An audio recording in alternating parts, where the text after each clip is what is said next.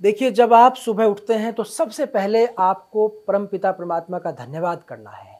कि आप सुबह उठ गए, रात्रि सोने के बाद व्यक्ति मृत तुल्य होता है। जब आप सुबह उठते हैं तो सबसे पहले परमात्मा का धन्यवाद करें, समस्त देवताओं का धन्यवाद करें, अपने माता पिता का धन्यवाद करते हुए अपनी पॉजिटिविटी के साथ, जिस कार्य को आज आप करना चाहते हैं, उस कार्य के विषय में आप पॉजिटिव चिंतन करें। आपका कोई काम अटका हुआ है, आप उसके बारे में सुबह ध्यानस्थ स्थिति में उसके एक सकारात्मक वेव्स क्रिएट करें अपनी बॉडी के चारों ओर, अपने मन की शक्ति का प्रयोग करते हुए उस कार्य के प्रति एक पॉजिटिविटी लाएँगे तो आप देखेंगे कि तीन से इक्कीस दिन के अंदर वो कार्य आपका सिद्ध होने लगेगा। ये बहुत ही फलीभूत मंत्र है कि पॉजिटिव मंत्र कहते हैं विचारों को। जो भी विचार आपके आप पूरा करना चाहते हैं, उस पर चिंतन करें ब्रह्म मुहूर्त में सुबह उठकर तो देवता भी आपकी मदद करेंगे और आप अपने आप की स्वयं में मदद करेंगे उस कार्य को पूर्ण करने के लिए।